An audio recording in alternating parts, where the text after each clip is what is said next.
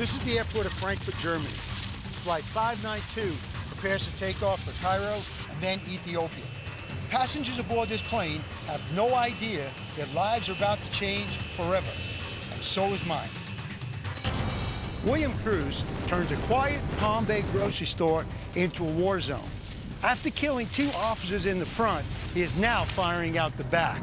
A civilian uses his pickup truck to block his fire and risks his life to save civilians. Cruz then goes back inside. Eight hours into this intense standoff, the plan is the SWAT team is preparing to fire tear gas into the front of the store, forcing Cruz out the rear door, where a sniper is ready to take the shot.